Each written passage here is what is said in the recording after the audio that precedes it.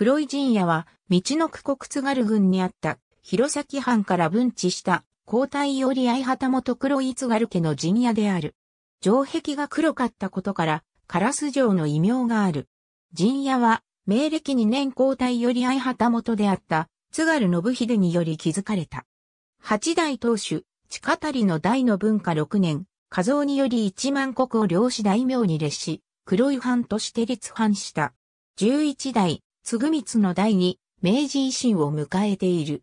明治4年7月の廃藩置県と黒い県の成立、9月の弘前県への九州合併により、存在意義を失い廃城となった。南側には浅瀬石川が流れ、陣屋との間には上関があり、地形的にも自然の要塞を呈していた。大手門近くには町霊所や太鼓櫓があった。さらに、中門、無常門、御生殺場などが北側にあった。西側には、馬場、南東には、津軽信秀を祀った五廟があり、南側には、蝦夷館と呼ばれる地が置かれている。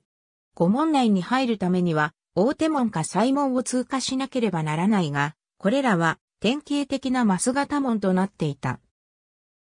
陣屋の東側には空堀があったが、明治の初め埋め立てられている。陣屋内には、御殿、台所、三倉、炎肖像が配されていた。浅瀬石川に臨む段丘は、飛行13メートルの高さがあり、陣屋地では唯一の要害である。陣屋とは、明治6年8月28日、黒井小学校が建設され、市民文化会館や中央スポーツ館の敷地などとなり、ババアートが黒井公園となった。ありがとうございます。